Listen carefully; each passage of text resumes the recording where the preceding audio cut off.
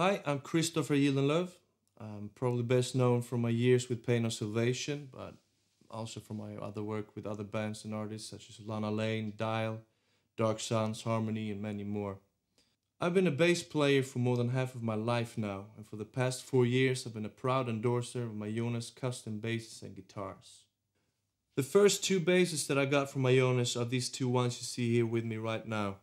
These are two six string custom made Comodous basses with Bartolini pickups, Aguilar preamps, and a Charlotte 2000 piezo bridge.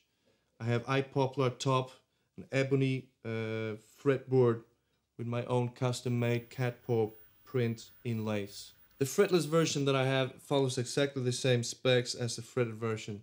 And I got these two just in the beginning of the first leg of the European tour we did with Pain of Salvation in 2005 and since then these have been my basis of choice for any recording or live performance. These basses are also to be seen in action on the live DVD we shot with Lana Lane in Tokyo in 2005, as well to be heard on the albums of Dial, Dark Suns, and Harmony. These two basses are my latest addition to my Mayones collection. Uh, these are the Be model and I really looked for something different to complete my uh, my my soundscape.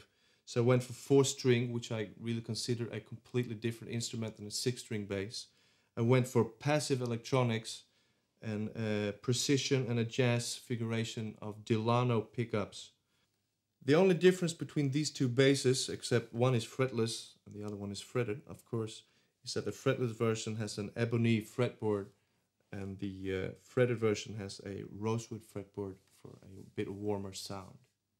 When it comes to slapping, this is my bass of choice. This is my guitar. It's a uh, Setius VIN in blue burst. Uh, I've used it for bigger parts of the uh, of the Dial album and also for my solo stuff. Uh, it's actually a, uh, a standard of the shelf model. The only thing I've asked for is uh, uh Seymour Duncan splittable humbuckers that I can split for single coils separately by pulling the knobs. And uh, it's an amazing guitar. If you want to see me and my Mayones family live in action, come see me on the Damian Wilson tour in fall 2009.